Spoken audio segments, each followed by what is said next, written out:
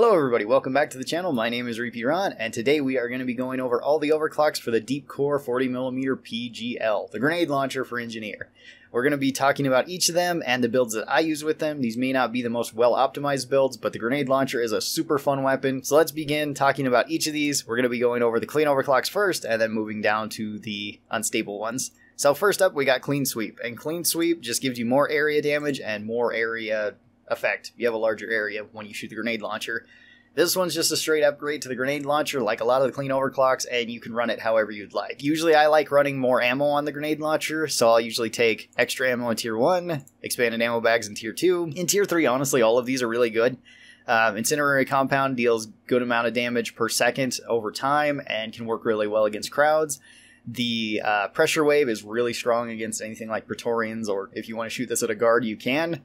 And then the high velocity grenade just make it easier for you to hit your target. I usually go with that one because sometimes I will just be using the grenade launcher at ranges that I really probably shouldn't be using the grenade launcher at. In tier 4, I usually go with a larger AoE radius in nails and tape just so that I can make the most use out of this one, but any of these are fine too. Stunning an enemy is really good, or just randomizing your damage, you'll statistically get more damage. And then in tier 5, I usually go with the spiky grenade for this one just so that I can hit enemies directly, but proximity trigger can also work, and same with the disabled inertia inhibitor. Honestly, I haven't used the inhibitor all that much, so I don't really know what the difference is between it because I know this one was recently added.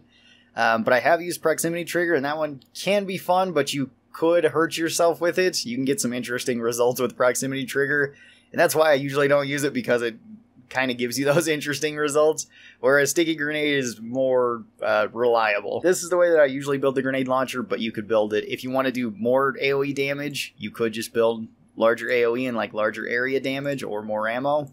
If you wanted to go for more damage, you could go with the HE compound as well as the larger payload, and then go with something like Pressure Wave.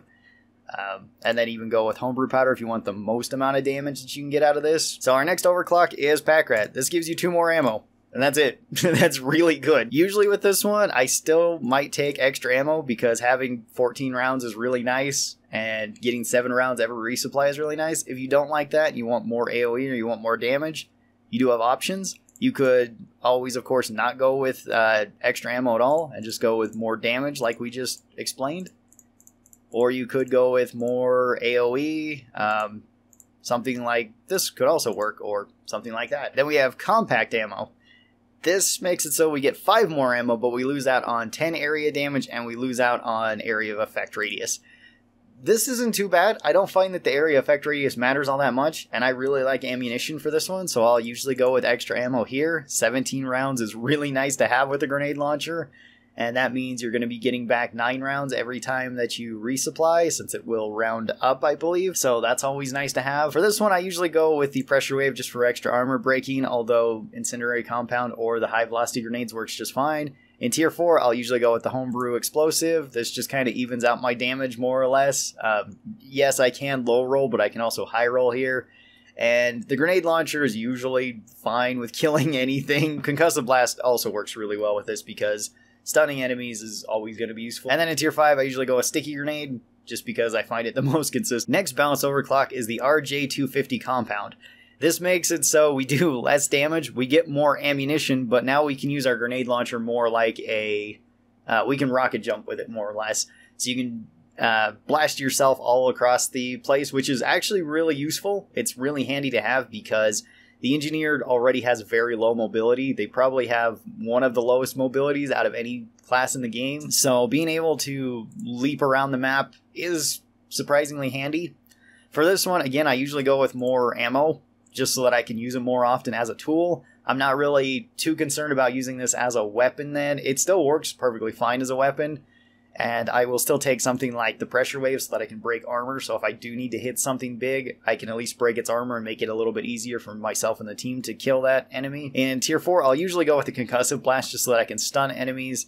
This just makes it easy if enemies start swarming me and I need to rocket jump my way out. And then this one, honestly, in the tier 5s, I don't know which one is the best for this. Spiky grenade works just fine. That's usually what I use because you can at least direct hit a Praetorian or something. But I imagine the disabled inertia inhibitor is also pretty good here. All right, now moving on to the unstable overclocks, we have the Fat Boy. Fat Boy gives us way more damage and a larger area radius, but we lose out on uh, ammo by a lot, and our projectiles are slower than they normally would be. This also has a very big AoE radius that lingers because it leaves a radiation field there that will deal damage to everything in it. So if you're standing in it, or if your teammates are standing in it, it can deal a lot of damage. This is also a really good one to run the perk friendly with. That way you're not killing your teammates as easily because you'll be inflicting less friendly fire damage on them. I usually go with the extra ammo here because I want to be using the grenade launcher as much as possible, and this just makes it a little bit easier for me to be using it. You don't necessarily need extra area damage. The extra AoE radius is fun to use, but again, I don't think it's really necessary. I find that the ammo is the best here. In tier 2, again, I go with extra ammo. In tier 3, honestly, all of these are fine. I usually go with the high velocity grenade so that my grenade will shoot at a normal speed um, or a bit faster speed than what it normally does so that it's a little bit easier for me to compensate for. But you could go with Pressure Wave if you really want to deal tons of damage to any sort of big enemy, or you could go with Incendiary Compound if you want to use this even more as an AoE weapon, and I do like using that too, that is a lot of fun. In Tier 4, I usually go with Homebrew Explosive, because randomizing the damage is actually really fun.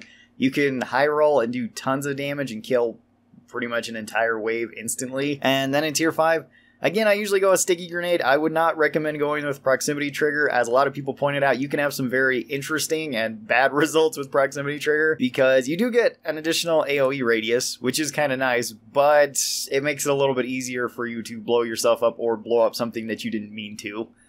So that's why I usually stick with Sticky Grenade just because it's a little bit more consistent. I think that the disabled inertia field will also work just fine. And then our last overclock is the Hyper Propellant. This gives us way more direct damage, uh, as well as we get a much faster moving projectile. We lose out on ammo, we lose out on AoE radius. This really turns the grenade launcher into more of a railgun.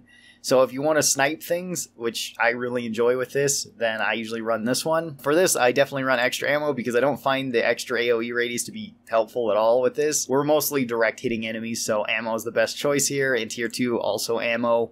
Again, it's just the best choice.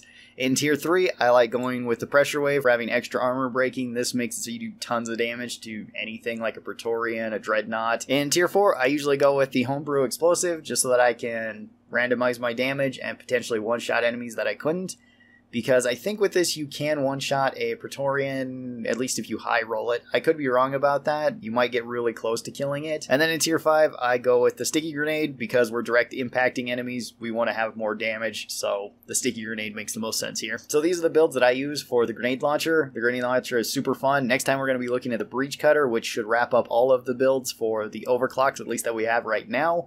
There will be new weapons in the future, which uh, I plan on covering them when they come out.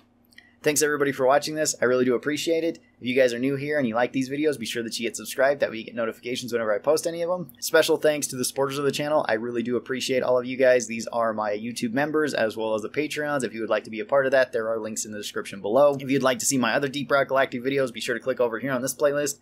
That'll take you to a list full of them. I hope you guys have a great day, and I'll talk to you next time. Till then, stay cool, and bye.